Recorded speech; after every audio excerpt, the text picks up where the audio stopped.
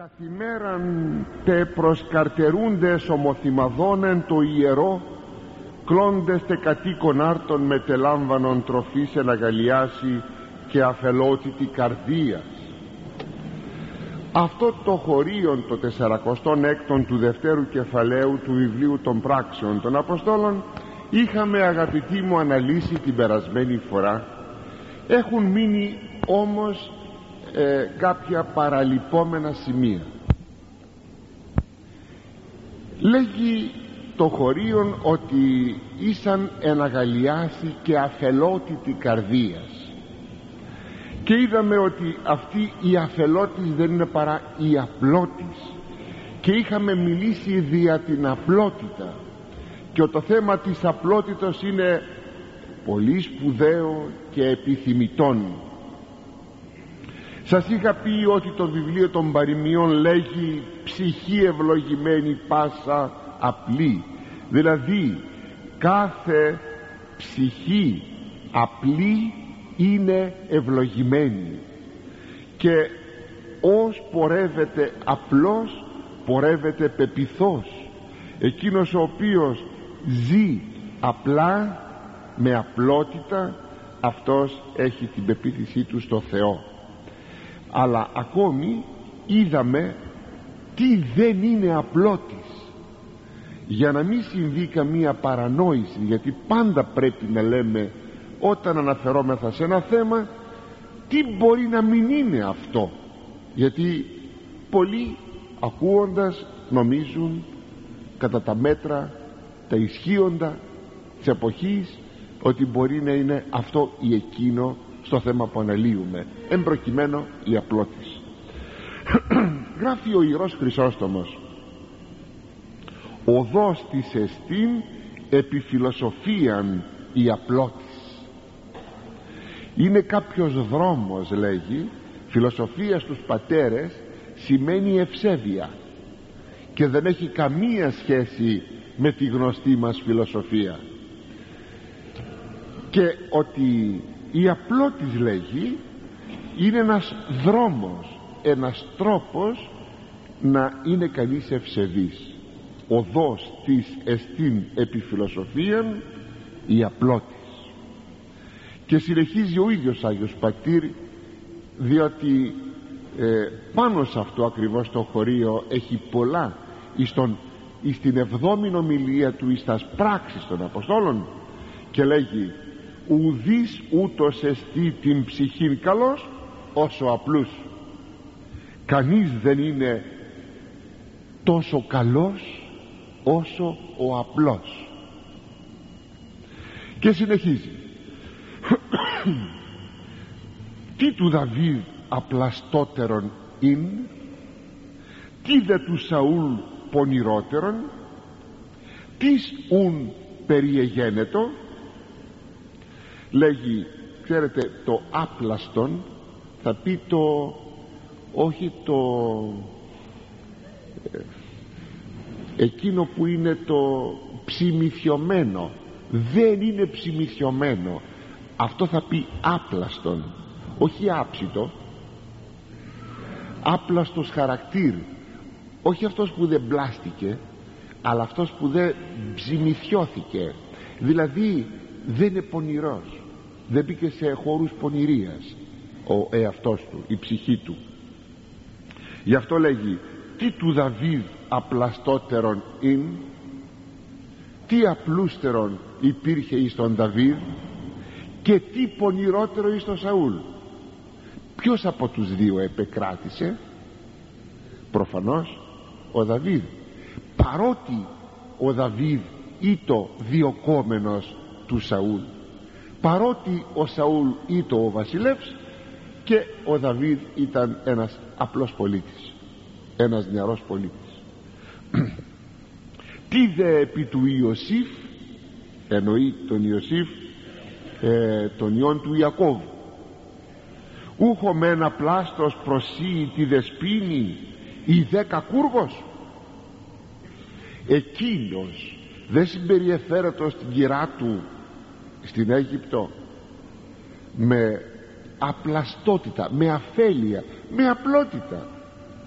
Αλλά εκείνη ήταν πονηρά και συμπεριεφέρετο με κακούργων τρόπων και ήθελε να τον παρασύρει εις την αμαρτία είναι δηλαδή παραδείγματα για να κατανοήσουμε τι θα πει απλότης. Τι δε του Άβελ απλαστότερον ειν; Τι δε του Κάιν κακουργότερον; Ακόμη τι βλέπουμε εις τον, εις τον Άβελ. Μία αναπλότητα και όταν ακόμη του είπε πάμε κάτω στην πεδιάδα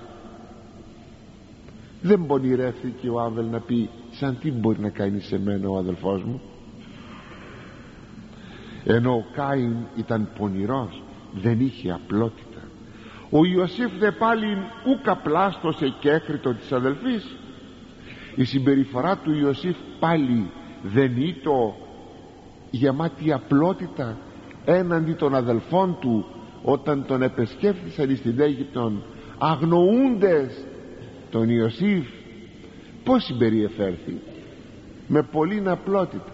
Έκλαιγε μπροστά τους. Όταν απεκαλύφθη αγαπητοί μου έκλαιγε σαν μωρό παιδί και μάλιστα έδωσε εντολή να κλείσουν την πόρτα που ήσαν στον, στην αίθουσα συναντήσεως να μην πάρουν είδηση οι υπηρέτε του ότι κλαίει βλέποντας τα αδέλφια του.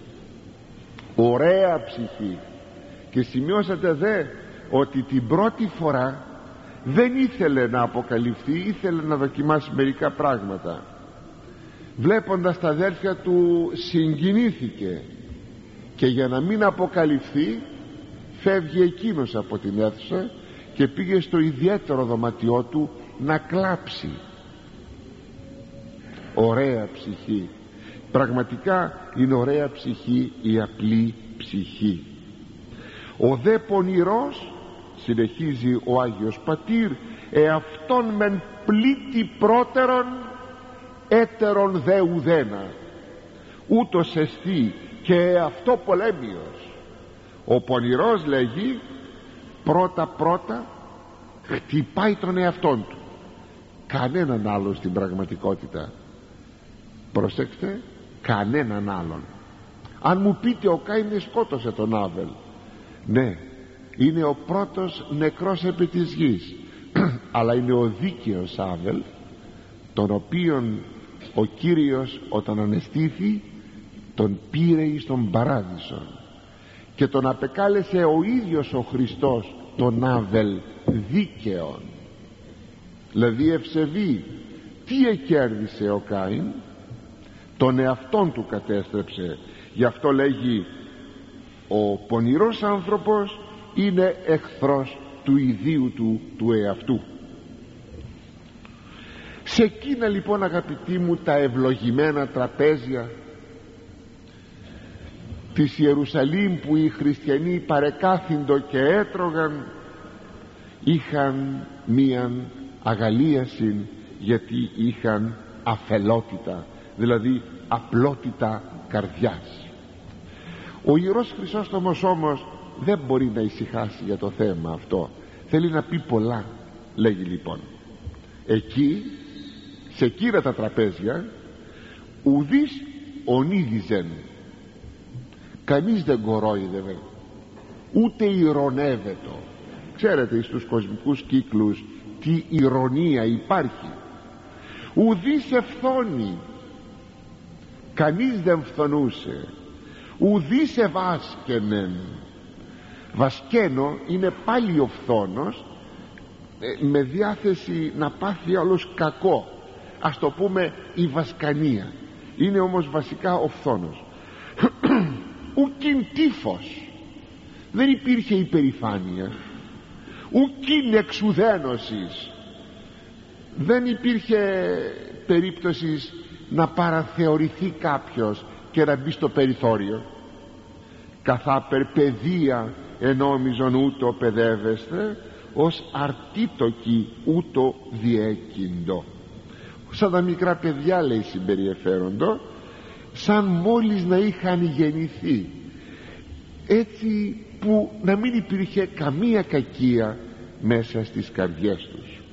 Ουδής ύπουλος είναι. Δεν υπήρχε κανένας ύπουλος. Ουδής πονηρός. Δια τούτο αγαλίασης είναι επί της τραπέζης. Γι' αυτό υπήρχε αγαλίαση στο τραπέζι. Ούτως ουκένι γενέστε αγαλίαση μη οφ αφελίας ούσης δεν μπορεί να υπάρξει λέγει αγαλίαση αν δεν υπάρξει δεν υπάρχει η απλότης. Ο απλούς είναι και φρόνιμος διότι είναι και διακριτικός ο απλούς. Μην νομίζετε ότι είναι κανένας χαζός. Δεν ταυτίζεται η απλότης με την χαζομάρα ε, μάλιστα αν το θέλετε στην έκφρασή μας λέμε απλοϊκός. Και όταν λέμε απλοϊκός εννοούμε όχι τον απλόν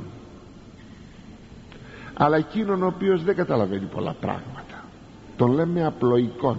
Υπάρχει διαφορά μεταξύ απλού και απλοϊκού. Λέγει λοιπόν ο Ιερός Χρυσόστομος τι γαράλο εστίν απλότης αλήφρόνησης τι άλλο πράγμα λέει η απλότης παρά η φρόνηση ακεραία φρόνηση. Και αν θέλετε αληθινή φρόνηση έχει μόνον ο απλός άνθρωπος επειδή δεν είναι εμπαθής. Ο εμπαθής δεν είναι δυνατόν ποτέ να έχει σωστή φρόνηση. Η φρόνησή του θα επηρεάζεται από τα ίδια του τα πάθη όταν γαρ δεν υποπτεύεις πονηρών ούτε τεκτίνε δύναστε, δύνασε πονηρών. Όταν μη δεν έχεις των δεινών ουδέ μη μνησικακή σε δυνήσει όταν μέσα σου δεν, δεν υπάρχει υποψία του πονηρού τότε δεν μπορείς και να κάνεις το πονηρό. Όταν μέσα σου δεν βολοδέρνεις από πάθη δεν μπορείς ποτέ να είσαι και ένας μνησικακός άνθρωπος. Και λέγει κάτι πολύ ωραίο. Παρακαλώ προσέξατε αυτό. Το πολύ ωραίο του Ιερού Χρυσοστόμου. Ήβρισε της ου κήλγησας έβρισε κάποιος. Σε έβρισε κάποιος. Δεν πόνεσες εκακηγόρησεν. Δηλαδή δημιούργησε κακότητα κατηγορώντας ουδέν έπαθες. Τίποτα δεν έπαθες. Ευάσκηνεν. Φθόνησε και βάσκανε. Ουδέ ούτως επαθέστη ούτε έτσι έπαθες τίποτε. Αγαπητοί μου δεν ξέρω. Τι θα πούμε τι θα μας δώσει ο λόγος του Θεού απόψε. Αυτό κρατήσατε το. Είναι πολύ σπουδαίο. Είναι δε φάρμακο της ψυχής κατά της ταραχής που μπορεί οι άλλοι να μας δημιουργούν. Βγαίνει η γειτονισά σου και σε βρίζει. Δεν της έκανες τίποτα. Τίποτα. Υπάρχουν άνθρωποι που βρίζουν χωρίς να τους κάνεις τίποτα. Σου δημιουργούν προβλήματα χωρίς να τους πειράξεις. Έχουν οι άνθρωποι έχουν τα πάθη τους. Πως να το κάνουμε; Λοιπόν σε έβρισε. Θα πεις δεν έπαθα τίποτα. Σου δημιούργησε ό,τι άλλο σε κατηγόρησε σε συκοφάντησε δεν έχασα τίποτα. Δεν έχασα τίποτα. Θα σας πω ένα ωραίο παράδειγμα. Λέγεται ότι κάποτε πήγαν και είπαν στο Μέγα Κωνσταντίνο ότι κάποιοι εχθροί του του έσπασαν, ακροτηρίασαν τις πρωτομές του που υπήρχαν μέσα στην πόλη. Τα αγάλματά του όταν εκείνοι έλεγαν ότι έπρεπε να τους συλλάβει και να τους τιμωρήσει αυτούς ξέρετε τι έκανε ο Μέγας Κωνσταντίνος. Έψαχνε τα αυτιά του και τη μύτη του ψαχνόνταν μήπως του λείπει τίποτα; Και λέει δεν μου λείπει τίποτα και τα αυτιά μου τα έχω και τη μύτη μου την έχω αυτό είναι που λέει το σύνορο ο Ιερός Χρυσόστομος βρίζει ο άλλος σε κακολογεί ο άλλος. Ό,τι θέλει μπορεί να λέει σε φθορεί ο άλλος. Δεν παθαίνεις τίποτα. Αυτό λέγεται απλότητα ψυχής. Καταλάβατε; Ότι είναι φάρμακον. Είδου όταν τα πάρουμε τις μετρητής εκείνα που μας εξετόξευσαν οι ανόητοι δεν θα κουραστούμε δεν θα κουραστεί η ψυχή μας. Δεν θα μπούμε ταραγμένοι στο σπίτι μας. Θα χτυπάει το σαγόνι μας από την ταραχή. Τα χέρια μας θα τρέμουν. Γιατί όλα αυτά γιατί τα πήραμε της μετρητής εκείνα που μας είπαν. Να γιατί είναι φάρμακο. Διότι αν αυτό επαναλαμβάνεται στο τέλος θα τρέχουμε σε νευρολόγους και σε ψυχιάτρους. Ενώ το φάρμακο είναι εδώ. Να είναι κανείς απλή ψυχή. Και συνεχίζει ο Άγιος Πατήρ.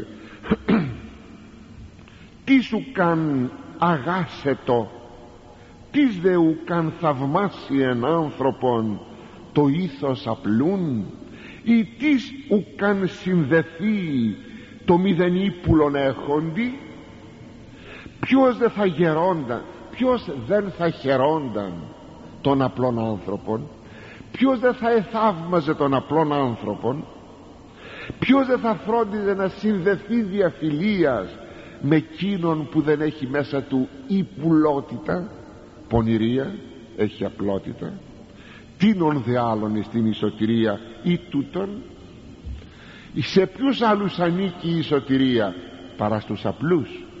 Αυτοί έχουν τη σωτηρία θα το πω άλλη μια φορά εάν μη στραφείτε και γέννηστε ως τα παιδεία είπε ο Κύριος εάν δεν στραφείτε τι θα πιστρέφομαι πηγαίνω προς μια κατεύθυνση και γυρίζω πίσω. Δηλαδή την κατεύθυνση της συμπεριφοράς των μεγάλων που μνησικακούν που και τα λοιπά και γυρίζω πίσω. Απαρνούμε τη συμπεριφορά αυτή που έχουν οι μεγάλοι και τα λογαριάζουν όλα και γίνομαι απλός στην καρδιά μου. Δεν θα μπείτε στη Βασιλεία του Θεού. Βασιλεία του Θεού και σωτηρία είναι αγαπητή μου ταυτόσημα τίνον δε τα μεγάλα αγαθά παρά στους απλούς ανήκουν. Ουχοί ποιμένες ευηγγελίστησαν πρώτεροι. Οι ποιμένες δεν είναι οι πρώτοι που δέχθηκαν το μήνυμα ότι σαρκώθηκε ο Θεός. Γιατί; Σαν απλή. Ουχή Ιωσήφ εννοεί τώρα τον μνήστορα απλούστης ο άνθρωπος. Δεν ήταν απλός άνθρωπος ο Ιωσήφ. Ο μνήστορ. Ουχή αγρίκους εξελέγεται τους απλάστους. Αγρίκος θα πει χωρικός. Συναντάει κανείς βέβαια τον απλόν άνθρωπο και εις τους χωρικούς αλλά και εις τους κατοίκους των πόλεων. Βεβαίως η απλότητα είναι μια ιδιότητα της ψυχής που κατάλαβε μερικά πράγματα. Είναι σπουδαίο πράγμα αγαπητοί μου να είμαι θα απλή και προχωρούμε στον επόμενο στίχο και τελευταίον του δευτέρου κεφαλαίου. Ενούντες των Θεών και έχοντες χάρη προς τον λαόν. Ο δε Κύριος προσετήθη τους σωζωμένους καθημέραν τη εκκλησία. Τι έκαναν εκεί στα κοινά τους τραπέζια; Δόξαζαν το Θεό. Έψαλαν δόξαζαν το Θεό. Και είχαν χάρη απέναντι στο λαό. Τους έβλεπε ο λαός ευμενός ο δε Κύριος προσέθεται τους σωζωμένους καθημερινά στην εκκλησία. Μια εκκλησία που δοξολογεί τον Κύριον όχι διότι υπήρχε στρωμένο τραπέζι αλλά διότι τους εξίωσε να ζουν μια τέτοια ζωή. Γιατί πολλά τραπέζια είναι στρωμένα δεν δοξάζουν όμως οι άνθρωποι το Θεό. Κάποτε με τα δακρύων μπορεί κανείς να τρώει δάκρυα αγαλιάσεως. Με τα δακρύων αγαλιάσεως να τρώγει το ψωμί και τις ελιές. Όταν έχει ειρήνη και τρώει με τα ειρήνης το ψωμί του. Και πλημμυρίζει η καρδιά από ευγνωμοσύνη προς το Θεό γιατί έχει ειρήνη δεν είναι τα αγαθά. Είναι τα άλλα αγαθά. Τα πνευματικά αγαθά. Τα δώρα που δίνει σε μια ψυχή ο Θεός. Είναι εκείνο που γράφει τώρα εδώ στο χωρίον, για το χωρίον αυτό ο Άγιος Ιάκωβος ο αδελφόθεος 5,13 ευθυμίτης ψαλέτο. Είναι κάποιος εύθυμος να ψάλει ή όπως λέγει ο Απόστολος Παύλος στην προς Εφεσίους 5,19 πληρούστε εμπνεύματι να γεμίζετε με το πνεύμα του Θεού λαλούντες εαυτής ψαλμής και ύμνης και ουδές πνευματικές άδοντες τραγουδώντες άδοντες και ψάλλοντες εν τη καρδία ημών το Κυρίο στην καρδιά σας. Ευχαριστούντες πάντοτε υπερπάντων εν ονόματι του Κυρίου ημών Ιησού Χριστού το Θεό και Πατρί. Αυτή είναι η κατάσταση της ψυχής που την επισκέπτεται την πληρή την γεμίζει το πνεύμα του Θεού και έχει αυτή την αγαλίαση και την πληρή διότι έχει απλότητα είναι δεκαρπός. Η χαρά αυτή του Αγίου Πνεύματος. Δεν είναι η χαρά που δίνει ο κόσμος. Βέβαια μπορεί να χαρούμε για μια στιγμή αν μας δώσουν ένα αντικείμενο. Και ίσως το αντικείμενο αυτό είναι και μεγάλης αξίας. Ή να χαρούμε γιατί είδαμε κάποιο πρόσωπο αγαπητό ή γιατί βρήκαμε κάτι χαμένο ή γιατί γίνηκαμε καλά γιατί είμαστε άρρωστοι. Όλα αυτά είναι χαρές. Αλλά δεν είναι η χαρά του Αγίου Πνεύματος. Δεν τις αρνούμεθα αλλά δεν είναι η χαρά του Αγίου Πνεύματος. Η χαρά του Αγίου Πνεύματος είναι να ζεις στις πιο δύσκολες καταστάσεις και να έχεις πάλι χαρά. Και το σπουδαίο νήτο ότι αμέσως εκείνος ο λαός του Θεού απέκτησε χάρη προς τον λαόν προς όλων των λαών. Δηλαδή τους απ' έξω εκείνοι οι οποίοι ακόμη δεν είχαν πιστέψει. Δηλαδή ετοιμώντο και ηγαπώντο υποπάντων όλοι τους αγαπούσαν και όλοι τους τιμούσαν. Λέγει ο Ιερός Χρυσόστομος ώρα πρόσεξε ώρα δε και εντάφθα αυτούς απολαμβάνοντας ευθέως τας αμοιβάς απολαμβάνουν την αμοιβή τους την πληρωμή τους. Διότι το να καταφέρεις να σε τιμούν και να σε αγαπούν οι άλλοι δεν είναι μικρό πράγμα δεν καταβάλεις μικρών κόπων για να το επιτύχεις. Το γαρέχειν χάριν προς το λαόν τούτο εστίν ότι ποθυνοί τιμές ήσαν και επέραστοι ήσαν λέει περιπόθητοι και αξιαγάπητοι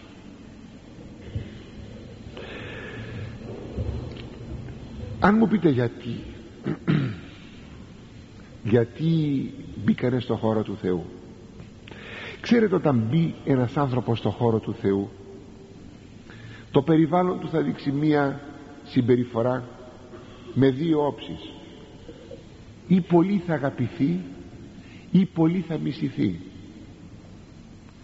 Και εκείνος που δεν δέχθηκε κοσμικός άνθρωπος την επίρρεια του σατανά θα αγαπήσει τον πνευματικό άνθρωπο. Εκείνος όμως ο οποίος εδέχθηκε την επίρρεια του σατανά αυτός θα μισήσει τον πνευματικό άνθρωπο δωρεάν δηλαδή ανετίως και το αποτέλεσμα. Ο δε Κύριος προσετήθη τους σωζωμένους καθημέραν τη Εκκλησία. Ο Κύριος λέγει προσέθεται καθημέραν στην Εκκλησία καθημερινά τους σωζωμένους. Δηλαδή μια αύξηση πνευματική καθημερινή όχι μόνο εις των αριθμών ήδη έγιναν πέντε χιλιάδες τρεις και δύο πέντε χιλιάδες. Αλλά και στην ποιότητα.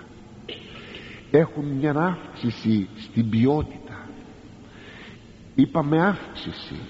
Και όταν λέμε αύξηση θα πει μη πλήρωση. Όταν γεμίζω ένα ποτήρι νερό και πω γεμίζω όχι γέμισα γεμίζω θα πει ότι μένει κάποιος χώρος κενός που τον συμπληρώνω που σημαίνει αυτός ο λαός βεβαίως είχε τα ελαττώματά του. Βεβαίως είχε αυτά που είχε. Δεν φύγανε κατά μαγικών τρόπων τα ελαττώματα του λαού. Μην νομιστεί ότι κατά μαγικών τρόπων ενίδειξε το Πνεύμα του Θεού. Λίγο πιο κάτω θα ειδούμε τη συμπεριφορά του Ονανία και της Αφήρης πιο κάτω θα ειδούμε κάτι άλλο παράπονα μέσα στο πλήθος ότι οι χείρες των ελληνιστών των Εβραίων που μιλούσαν τα ελληνικά παραθεωρούν το λέει. Ε, δεν τους βάζω στο περιθώριο. Δεν, δεν τους έδιναν πολύ σημασία. Ε, από τους ντόπιους Εβραίους που μιλούσαν την ντόπια γλώσσα. Και έγινε γονγισμός που δείχνει ατέλειες. Ο Ιερός Συγγραφεύς είναι ιστορικός και έχει όλες τις αρετές ενός ιστορικού. Δεν αγλαίζει τα γεγονότα δεν τους βάζει φωτοστέφανο για να τα παρουσιάσει. Λέει και τις ασθενείς πτυχές. Γι' αυτό θα πει πιο κάτω ότι συνέβη αυτό μέσα στο πλήθος για να δείξει ότι το πλήθος αυτό ύφξανε γίνονταν καλύτερο. Ξεκίνησε από το μηδέν για να ανεβαίνει αυτό το θαυμαστόν όχι ότι είχε λατώματα ότι αυξάνει στην πνευματικότητα.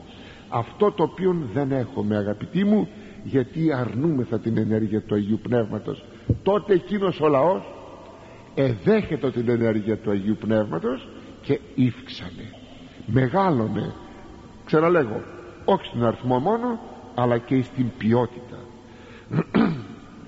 Λέγει κοιτάξτε τι όνομα δίδει σε εκείνους οι οποίοι προσετίθεντο τους αποκαλεί σωζωμένους. Σωζόμενοι. Δηλαδή θα λέει κανείς να πως διαγράφεται η σωτηρία. Αυτό το σωζόμενοι ή το ένα όνομα το οποίο απεδίδετο εις τους χριστιανούς. Το βρίσκουμε και σε άλλο σημείο σε άλλα σημεία της Αγίας Γραφής. Αυτό τι δείχνει; Δείχνει ότι ο Κύριος σώζει και προσέξτε ξαναλέγω μόνο ένας χριστιανισμός που σώζει είναι χριστιανισμός. Ένας χριστιανισμός με πολιτιστικές διαστάσεις. Ένας χριστιανισμός με πολιτικές διαστάσεις. Ένας χριστιανισμός με ηθικιστικές διαστάσεις. Ένας χριστιανισμός με φιλοσοφικές διαστάσεις δεν σώζει. Αλλά ο χριστιανισμός όπως παρεδόθη από τον Κύριο αυτός σώζει. Και αυτό είναι το κριτήριο. Σώζει αυτό που έχω. Εάν σώζει αποδεκτόν. Δεν σώζει δεν το χρειάζομαι. Άλλας ανάλατον. Και όπως ο Κύριος είπε δια τους χριστιανούς εκείνους που νοθεύουν τη ζωή τους και γίνονται αλάτι ανάλατο αλάτι μένουν αλλά έχασαν τη γευστική τους ικανότητα ιδιότητα. Δηλαδή είναι χριστιανοί αλλά δεν είναι δεν δε, δε είναι νόστιμοι όπως το αλάτι. Έχασαν έχασαν. Τότε λέει το αλάτι αυτό σε τίποτα δεν είναι χρήσιμο. Πετιέται και καταπατείται υπό των ανθρώπων στο δρόμο. Αλλά και κάτι ακόμη. Ποιος προσέθεται ο Κύριος. Που σημαίνει ότι όλα αυτά δεν ήταν γιατί ο Πέτρος ήταν εύγλωτος. Δεν είχε καμία ευγλωτία ο Πέτρος. Είναι εκείνο που θα πει ο Απόστολος Παύλος ούτε ο φυτεύων αισθήτη ούτε ο ποτίζων αλλά ο αυξάνων Θεός. Μόνο ο Θεός ότι αυξάνει. Οι άλλοι δεν είναι τίποτε. Διότι αυτός ο Κύριος μας προσέθεται όπως βλέπουμε τους οζωμένους εις την Εκκλησία. Θα λέγε κανείς ακόμη πως αυτός ο τόσο ζήλος η τόση αρετή εις εκείνο το πλήθος των πέντε χιλιάδων ανθρώπων λέγει ο Ιερός Χρυσόστομος επειδή προς τα μέλλοντα μετέστησαν αυτόν την διάνοια και ουδέν των παρόντων προσεδόκων μετέθεσαν το μυαλό τους στα ουράνια πράγματα.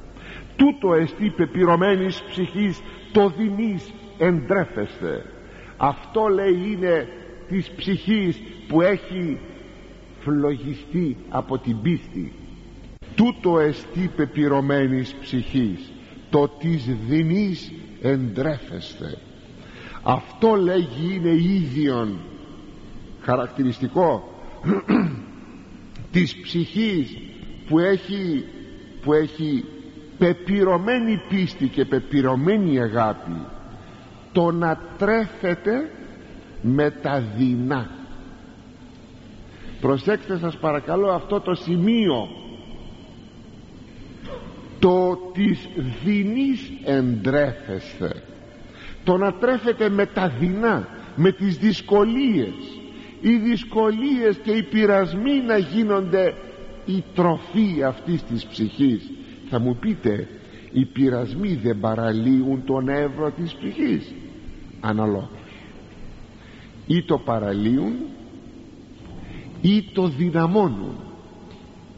Θα σας πω ένα πολύ απλό παράδειγμα όταν κάποιος εναντιώνεται σε μας σε μια υπόθεση απλή καθημερινή υπάρχουν δύο δυνατές θέσεις.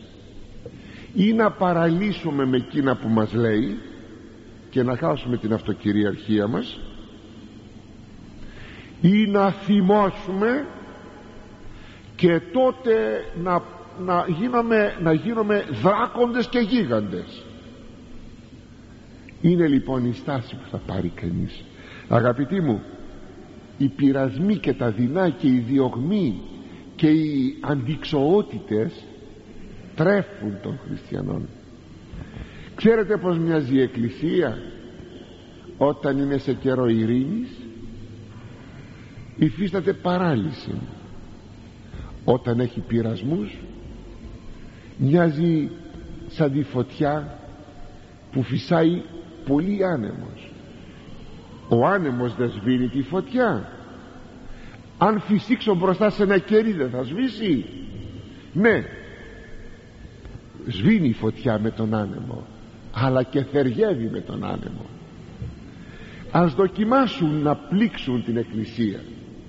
Ας δοκιμάσουν στην Ελλάδα να πλήξουν την εκκλησία. Και τότε θα ειδείτε τι θα γίνει από θαύματα χριστιανικού παραδείγματος. Θα το μετανοήσουν. Όπου εκτύπησαν την εκκλησία γιγαντώθηκε η εκκλησία. Έγινε γίγας η εκκλησία. Και την τρόμαξαν και τη φοβήθηκαν την εκκλησία. Είναι ίδιον της εκκλησίας να τρέφεται με τους πειρασμούς. Δεν ξέρω αν πρέπει να λέμε στην προσευχή μας Κύριε βγάλε την ειρήνη σου από την εκκλησία. Την ειρήνη εννοώ την εξωτερική. Εκείνη που οι άνθρωποι έχουν ο κόσμος που έχει προς την εκκλησία. Αφαίρεσέ την για να λιγάκι να δυναμώσουμε τον εύρο της ψυχής να ταινιστεί. Δεν ξέρω αν πρέπει να το λέμε. Δεν μπορούμε να το πούμε βεβαίως. Ο Κύριος κρίνει. Αλλά σας λέγω μόνο ότι αυτή η παρατήρηση του Ιερού Χρυσοστόμου είναι πολύ σπουδαία και λέγει τώρα τούτο ενόμιζον εκείνη χριστιανισμόν είναι εκείνη λέγει όταν ετρέφοντο με αυτά τα δεινά αυτό θεωρούσαν χριστιανισμόν ακούσετε αυτό θεωρούσαν χριστιανισμόν δηλαδή άποψης ορθή. Αλλού χυμής είναι η απογοήτευση του Ιερού Χρυσοστόμου. Ο θαυμασμός μεν για εκείνους η απογοήτευση δια του συγχρόνους του Ιερού Χρυσοστόμου. Αν έζει ο Ιερός Χρυσόστομος αγαπητοί μου 15 αιώνες πέρασαν από τότε και έβλεπε την εποχή μας δεν ξέρω τι θα έκανε. Δεν ξέρω τι θα έλεγε. Αλλού εμείς μην χάρ τα ανέσεις εντάφθα ζητούμε εμείς τι θέλουμε τις ανέσεις θέλουμε να μην κακοκαρδίσουμε σε τίποτε να μην κακοπαθήσουμε σε τίποτε. Και αν υποτεθεί ότι έρθει μια δυσκολία ελαχίστη τυποτένια ανόητη είμαι θα έτοιμη να απεμπολίσω με τον Χριστό να προδώσω με τον Κύριο να εγκαταλείψω με την πίστη. Αυτό είμαστε εμείς σήμερα. Και ακόμη αν θέλετε εκείνο το φοβερό που σας είπα ήδη προηγουμένως να νοθεύουμε τον χριστιανισμό για να έχουμε θα λέγαμε στην παρούσα ζωή την άνεσή μας την ποικίλη και να δικαιολογούμε ταυτόχρονα στην συνείδησή μας ότι είμεθα και χριστιανοί αφού πιστεύουμε στον Χριστόν είμαστε και χριστιανοί. Αγαπητοί ας μην κοροδεύουμε τον εαυτό μας αυτό που λέγει ο Ιερός Χρυσόστομος είναι αλήθεια. Χριστιανισμός είναι να τρέφεσαι με τους πειρασμούς με τις δυσκολίες με τα δεινά. Γι' αυτό αγαπητοί το βιβλίο αυτό των πράξεων είναι σπουδαίο βιβλίο διότι μας παρέχει ωραίες εικόνες πολύ σπουδαίες γεμάτες από πρότυπα που μας προκαλούν να μιμηθούμε αναθεωρούντες την ζωή μας τη χλιαρή. Και τώρα εισερχόμεθα με την βοήθεια του Θεού εις το τρίτο κεφάλαιο το οποίο τρίτο κεφάλαιο των πράξεων περιέχει ένα θαύμα θεραπείας ενός χολού ανθρώπου και με την ευκαιρία αυτού του θαύματος μία μακρά ομιλία του Αποστόλου Πέτρου προς τα πλήθη που εστάθησαν μάρτυρες της θεραπείας αυτού του χολού ανθρώπου. Περιτώ να σας πω ότι εκείνη η ομιλία του Αποστόλου Πέτρου γέμι θεολογίας. Είναι γεμάτη από θεολογίας γεμάτη από πλούτον πολλήν ώστε κανείς σε κάθε βήμα σε κάθε λέξη να σταματά και να αποκαλύπτει αυτόν τον πλούτον. Με λίγα λόγια η υπόθεση έχει ως εξής. Να σας διαβάσω. Επί το αυτό δε Πέτρος και Ιωάννης ανέβαινον εις το ιερόν επί την ώραν της προσευχής στην ανάτην και της ανήρ χολός εκκυλίας μητρός αυτού υπάρχον ευαστάζετο ονετήθουν καθημέραν προς την θύραν του ιερού την λεγόμενην ωραίαν του ετήν ελεημοσύνην παρά των εισπορευομένων εις το ιερόν. Ως ειδών Πέτρον και Ιωάννη μέλλοντας εισιένε εις το ιερόν η ρότα ελεημοσύνην.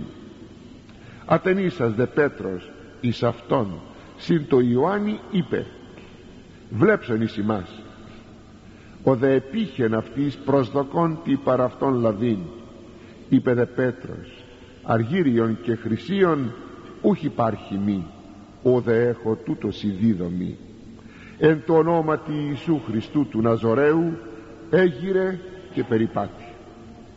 Και πιάσας αυτόν της δεξιάς χειρός ήγηρε παραχρήμα δε εστερεώθησαν αυτού εβάσεις και τα σφυρά και εξαλόμενος έστηκε περιεπάτη και εισήλθε συν αυτής εις το ιερόν περιπατών και αλόμενος και ενών των Θεών.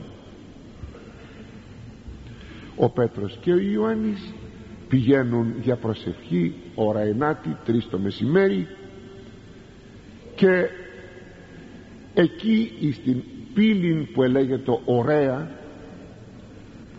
προκειμένου να μπουν στο ιερόν δηλαδή στο ναόν ή το κάποιος άνθρωπος. Πιο κάτω θα μάθουμε ότι είναι 40 ετών αυτός ο άνθρωπος. Εκγενετής κουτσός χολός. Δεν μπορούσε επουδενή λόγο να σταθεί στα πόδια του. Ήταν σαν παράλυτα. Και εκεί τον έφερναν κάθε μέρα ή κάποιοι άνθρωποι δικοί του να ζητιανέψει ζητώντας ελεημοσύνη από εκείνους οι οποίοι εισήρχοντο εις το ιερόν.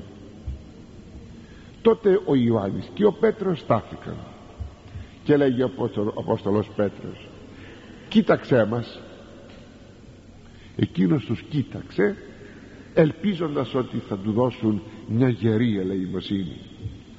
Δεν διεψεύστη όμως γιατί πάντα ελεημοσύνη δεν είναι βεβαίως τα χρήματα λέει ο Απόστολος Πέτρος. Χρυσά και αργυρά νομίσματα δεν υπάρχουν σε μένα. Δεν έχω. Αυτό που έχω σου δίνω όχι ξέχασα το πορτοφόλι μου στο σπίτι. Δεν έχω. Αυτό που έχω τούτο σου δίνω. Εις το όνομα του Κυρίου μας Ιησού Χριστού σήκω επάνω και περπάτα. Και τον έπεσε με το δεξί του χέρι ο Απόστολος Πέτρος και τον εσήκωσε. Και αμέσως λέγει ο Ευαγγελιστής Λουκάς εστερεώθηκαν τα πόδια του αυτός άρχισε να χοροπηδάει από τη χαρά του αλλά και να βεβαιωθεί εξ αντικειμένου πλέον ότι τα πόδια του δεν είναι παράλυτα τους ακολουθεί μπαίνοντας και εκείνος μέσα εις τον ναόν για να δοξάσει και να ευχαριστήσει τον Θεό αυτό είναι το θαύμα το οποίο θα δούμε λεπτομερώς. Και εξ αφορμής του θαύματος όταν εκείνος ο κόσμος που ήταν στο ναό ποτέ δεν έμενε ο ναός χωρίς κόσμο είδαν το θαύμα μαζεύτηκε κόσμος και τότε αφού γέμισε εκεί ο χώρος από κόσμο άρχισε να ομιλεί ο Απόστολος Πέτρος. Και λέγει τι ήρθατε να δείτε; Αυτό που έγινε; Τι νομίσετε από τη δική μας τη δύναμη; Όχι. Από τη δύναμη του Ιησού Χριστού εκείνον που εσείς εσταυρώσατε. Αλλά μην απογοητεύεστε μετανοήστε και σωθείτε για να έρθουν μέρες καλύτερες μέρες αναψυχής. Αυτά τα δύο αγαπητοί μου ένα θαύμα και μία ομιλία περιέχει το τρίτο κεφάλαιο του βιβλίου των πράξεων. Αλλά ας έρθουμε τώρα να δούμε με λεπτομέρεια αυτά που γράφει εδώ ο Ιερός Ευαγγελιστής. Επί το αυτό δε Πέτρος και Ιωάννης ανέβαινον εις το ιερόν επί την ώρα της προσευχής την ενάτην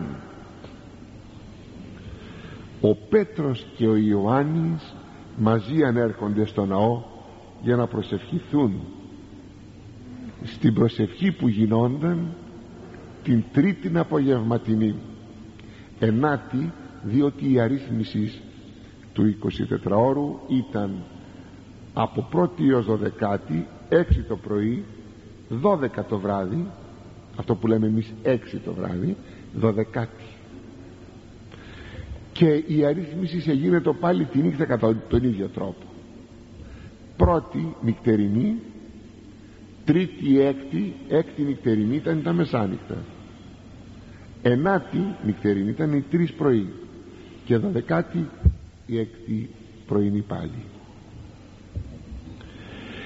Ο Πέτρος και ο Ιωάννης μαζί επί το αυτό.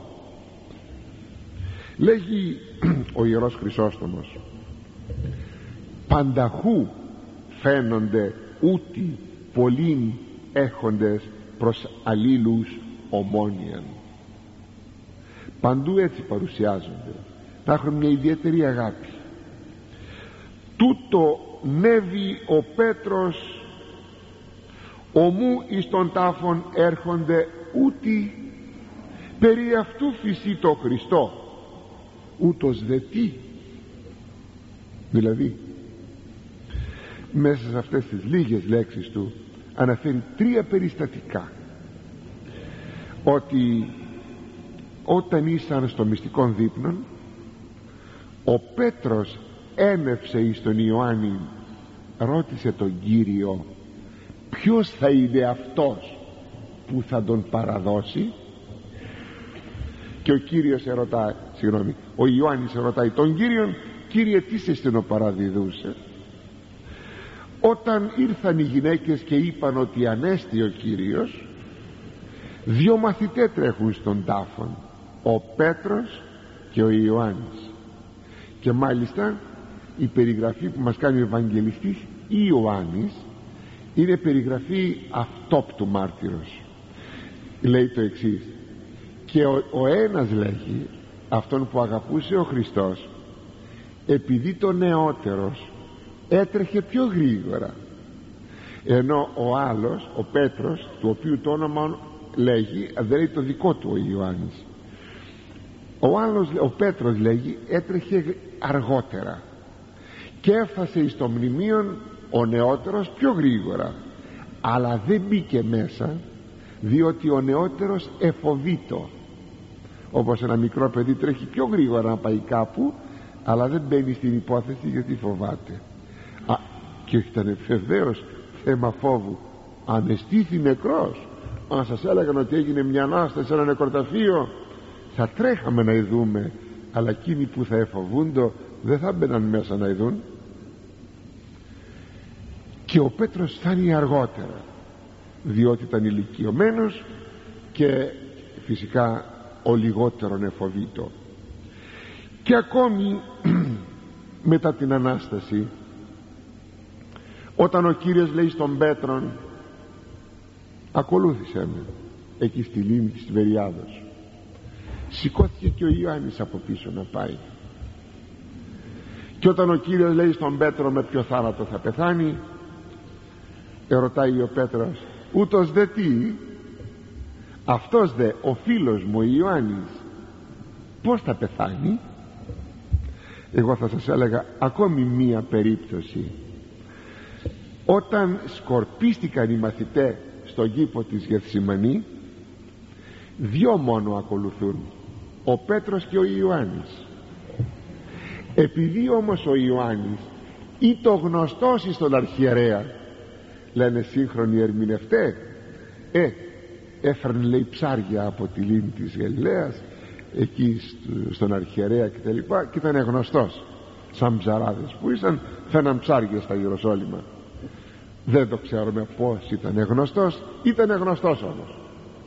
Και σαν γνωστός του αρχιερέως μπήκε μέσα στην αυλή του Καϊάφα και του Άννα ο Ιωάννης. Ο Πέτρος όμως δεν ήταν γνωστός και τον άφησαν απ' έξω. Και τότε μίλησε ο Ιωάννης και τον έβαλαν τον Πέτρο μέσα και εκεί ακριβώς στην αυλή του αρχαιρέως ο Πέτρος ειρνήθη των Χριστών που γνωρίζουμε όλοι ώστε Πέτρος και Ιωάννης είναι μαζί. Πολύ δε παραπάνω μετά την Ανάσταση. Και φαίνεται ότι όταν ο Πέτρος ειρνήθη των Χριστών ο Ιωάννης τον παρηγόρησε. Θα του είπε μη χάνεις την ελπίδα σου. Ειρνήθεις αλλά ο Κύριος είναι αγαθός. Θα σε συγχωρήσει ίσως ίσως να συνετέλεσε και εις το σημείο αυτό σαν φίλος καλός. Ο ένας ο Πέτρος είχε ορμητικόν χαρακτήρα αλλά μια ψυχή γεμάτη πίστη. Ο άλλος ο Ιωάννης είχε ήρεμον χαρακτήρα αλλά μια ψυχή γεμάτη από αγάπη βλέπετε δεν είναι απαραίτητο να διαθέτουμε τον ίδιο χαρακτήρα για να αποκτήσουμε μια αμφιλία. Το τέριασμα δεν είναι στον ίδιο τύπο. Το τέριασμα δεν μπορούμε να το χαρακτηρίσουμε. Αγαπητοί μου βάλτε κάτω ό,τι θέλετε. Επί της τραπέζης βάλετε ό,τι χαρακτηριστικά θέλετε για να δείτε πως μπορούν να ταιριάζουν δύο άνθρωποι και το θέμα δεν είναι μόνο και στη φιλία. Το θέμα είναι και στον γάμον. Αγαπητοί μου είναι ανέκφραστο πράγμα και ανεξερεύνητο δεν μπορώ να σας πω γιατί ταιριάζουμε έναν άνθρωπο. Δεν μπορώ να σας το περιγράψω. Δεν λέγεται. Δεν το ξέρω. Ξέρω μόνο ότι ταιριάζω με έναν άνθρωπο. Γι' αυτό δεν μπορεί ένας τρίτος να βάλει δύο ανθρώπους να γίνουν φίλοι ή πολύ παραπάνω ένας τρίτος να ενώσει δύο ανθρώπους ότι τάχα ταιριάζουν μέσα στο γάμο. Επικίνδυνο πράγμα. Το θέμα του ταιριάγματος είναι προσωπικών. Δεν μπορεί κανείς τρίτος να πει πως είναι αυτό το τέριασμα. Δεν υπάρχει. Αλλά γυρίζω στο θέμα της φιλίας. Η φιλία αγαπητοί μου είναι σπουδαίο στοιχείο. Υπερβαίνει και αυτούς τους βαθμούς της συγγενείας. Δεν είχε αδελφόν ο Ιωάννης δεν τον αγαπούσε είχε τον Ιάκωβον. Αλλά με τον Πέτρο πηγαίνει. Υπερβαίνει λοιπόν η φιλία τους συγγενικούς δεσμούς. Λέγει η Αγία Γραφή όποιος Παλαιά Δεθήκη όποιος βρήκε φίλον εννοείται αληθή φίλον βρήκε θησαυρών και πράγματι ο φίλος είναι θησαυρός. αλλά πρέπει όμως αυτή η φιλία να είναι εν Χριστώ Ιησού. Διότι αν δεν υπάρχει αυτή η φιλία εν Χριστώ Ιησού τότε τα πράγματα δεν πάνε καλά. Και όταν υπάρχει αυτή η φιλία εν Χριστώ Ιησού τότε αυτή η φιλία ξεπερνάει κάθε δεσμόν και φιλετικών. Δηλαδή μπορεί να, να κάνω φιλία με έναν Κινέζο. Να είναι αδελφός μου. Ποιο αδελφός μου από εκείνον, με τον, από, ε, από, με εκείνον που από την ίδια μήτρα βγήκαμε. Στον ίδιο τόπο γεννηθήκαμε. Από την ίδια μάνα και τον ίδιο πατέρα. Υπερβαίνει κάθε δεσμόν αυτή η εν Χριστώ φιλία. Είπε ο Κύριος εμείς φίλοι μου εστε εσείς είσαστε φίλοι μου Ιωάννης 15,14 αλλά πότε είμαι θα φίλοι του Χριστού; Εάν λέγει ποιήτη όσα εντέλω με ημίν εάν εφαρμόζεται όσα σας παραγγέλω και όποιος συνάπτει μια φιλία πρέπει να έχει κριτήριο την φιλία του Χριστού. Μπορεί να ταιριάξω εγώ με τον άλλον αλλά είναι φιλία. Και στον αρχαίο κόσμο συναντούσαμε το φαινόμενο της, της φιλίας. Δεν είναι απαραίτητο να είμαι χριστιανός για να έχω φιλία. Ο δάμον και ο φιντίας ενθυμίστε την αρχαιότητα. Προσέξτε όμως. Δεν ξέρω με κάποτε μία φιλία κοσμική φιλία που μπορεί να φτάσει. Γι' αυτό κριτήριον για μία όχι φιλία αλλά για μία αγίαν φιλία για μία αγίαν σχέση κριτήριο πάντοτε θα είναι η αγάπη του Χριστού η φιλία του Χριστού. Εγώ ταιριάζω με αυτόν τον άνθρωπο να τον κάνω φίλο μου. Αυτός έχει φίλο των Χριστών. Εγώ έχω φίλο των Χριστών. Εάν και οι δυο μας έχουμε φίλον των Χριστών και το κριτήριο είναι τότε ο Χριστός τότε μπορούμε να έχουμε μίαν πραγματικά αγίαν φιλία θα σας έλεγα με την ευκαιρία αγαπητοί μου να προσέχουμε πολύ τις φιλίες μας στον κόσμο αυτόν. Λέμε πολλές φορές ο Κύριος τάδε φίλος μας είναι. Η Κύρια τάδε φίλη μας είναι προσέξατε. Μη κακοποιούμε των θησαυρών της φιλίας. Και αν ακόμη το πούμε να μην το πιστεύουμε. Μπορούμε να λέμε φίλους πόσο μπορούς να, πόσους μπορώ να έχω; Ίσως μόνο τις πιο πολλές φορές κανέναν. Αλλά αλίμονο έναν έστω. Δύο ίσως. Δεν νομίζω παραπάνω.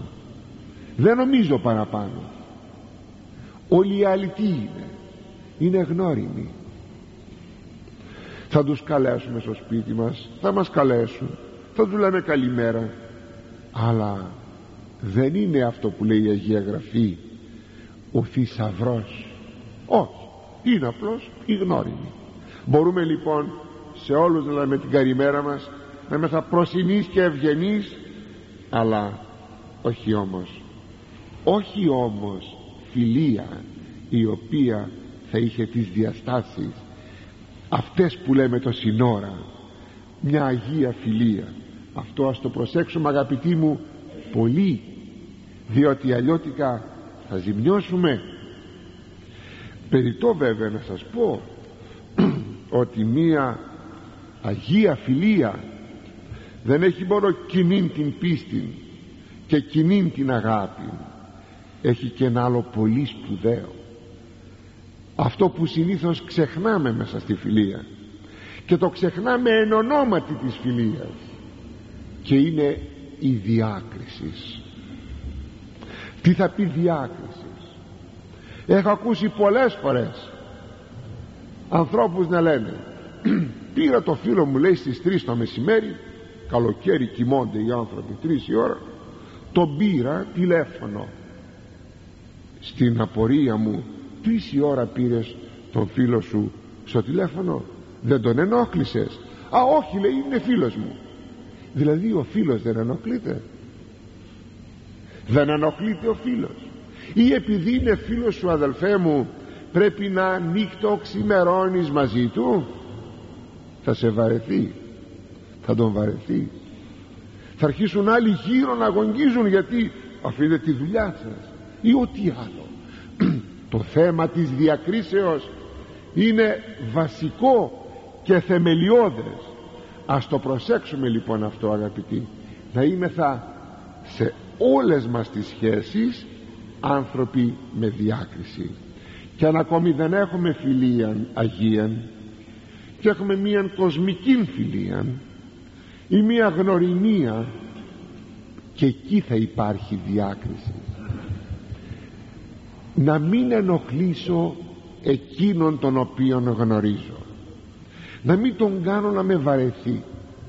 Με κάλεσε πέντε φορές στο σπίτι του. Θα πάω τις δύο. Είναι προτιμότερο να είμαι επιθυμητός παρά βαρετός από τις συχνές μου επισκέψεις.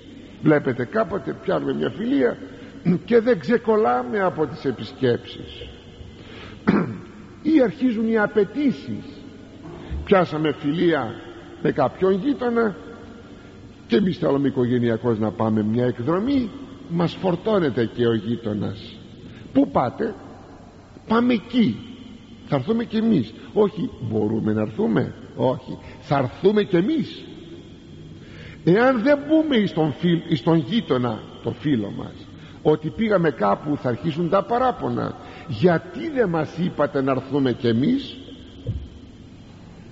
Όλα αυτά τι σημαίνουν αγαπητοί μου; Τι άλλο σημαίνουν παρά απουσία διακρίσεως; Θέλετε ποτέ να μην μαλώσετε με τους φίλους σας και με τους γνωρίμους σας; Θα τους αγαπάτε; Θα είστε ευγενείς αλλά και διακριτικοί. Λέγει η Παλαιά Διαθήκη αν βρήκες φίλον εύκολα μην τον αλλάξεις διότι υπάρχει κίνδυνος να πρέπει υπάρχει κίνδυνος αν τον αλλάξεις συγγνώμη υπάρχει κίνδυνος να τον αλλάξεις γιατί δεν πρόσεξες μερικά πράγματα. Πρόσεξε λοιπόν μερικά πράγματα για να μην τον αλλάξεις τον φίλον. Μη γίνει εχθρός σου. Και ένα τελευταίο. Δεν σημαίνει φίλος ότι πρέπει να πω και όλα μου τα οικογενειακά ποιος μου εγγυάται ότι αυτός που σήμερα είναι φίλος μου αύριο δεν μπορεί να είναι εχθρός μου. Από το πρωί μέχρι το βράδυ ο καιρός αλλάζει. Γιατί δεν θα άλλαζαν οι άνθρωποι; Ποιος μου το εγγυάται αυτό; Συνεπώς δεν θα πω κάτι που δεν πρέπει να υποθεί αν αυτό το κάτι είναι οικογενειακό θα σας συνιστούσα και θα σας έλεγα. Να έχετε ανακοινωτικότητα με τους φίλους σας επιθεμάτων που αντέχουν στη δημοσιότητα. Αν κάποτε δεν είσαστε φίλοι αυτό που του είπατε του φίλου σας αντέχει να γίνει γνωστό. Αν αντέχει πείτε το. Θα ρωτάτε μήπως δεν αντέχει τότε μη το πεις. Διότι αυτό που του λες το μυστικό σου μπορεί αυτός να το κραδένει και να λέγει αύριο να σε απειλεί. Ότι αν δεν μου κάνεις αυτό θα πω το μυστικό σου μέσα στον κόσμο γι' αυτό και σε αυτό τι χρειάζεται διάκρισης. Την, την κάθε φιλία την κάθε γνωριμία αλλά και την Αγία Φιλία την διατηρεί η διάκριση. Αυτά αγαπητοί μου για απόψε